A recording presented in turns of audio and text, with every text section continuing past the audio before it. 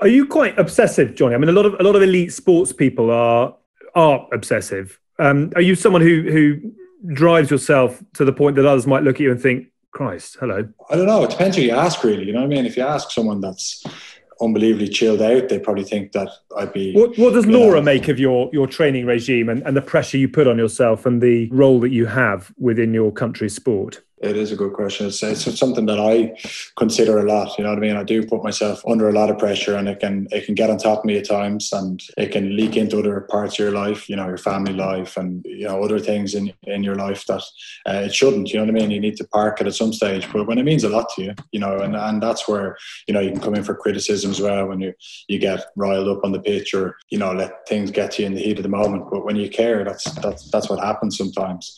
But sometimes there's a there's a line that you cross where you kind of think it's not that important. Uh, you know, you, you need to enjoy it and, and chill out as well. So it's it's a balance really, but I probably wouldn't have had some of the successes I've had without being a little bit like that and needing to rein it back a little bit. Do you worry about filling the void when the time comes to hang up your boots? Or will you go into coaching? Will you find something else that you can put and channel that energy into? Yeah, I worry about the void daily. You know what I mean? Especially when it's the last year of my contract, the uncertainty around that, the uncertainty around COVID, and what's what, what's the state of the game going to be at the end of the year? Will any of us have jobs? You know, the, all those things be going through your mind. But yeah, the void about what, what I'm going to do post rugby. It's another reason why I want to I want to keep going. I don't know what I'm going to do. I don't know what I'm going to do post rugby. Um, that's I probably need to get on top of that over the next eight nine months because if if the union don't want to uh, keep me, well then I'm going to have to have something to go to. So we'll see. Do you do much for your mental health, Johnny? You, you said um, that you obviously go and look for physios in other areas and stuff. Sometimes stuff can get on top of you. Did you work on that? Yeah, it's uh, it, it is an area where I suppose Joe Schmidt was probably the first one that to really highlight it with us in Ireland. Uh, sort of midway through his his tenure with us, and it was something that I kind of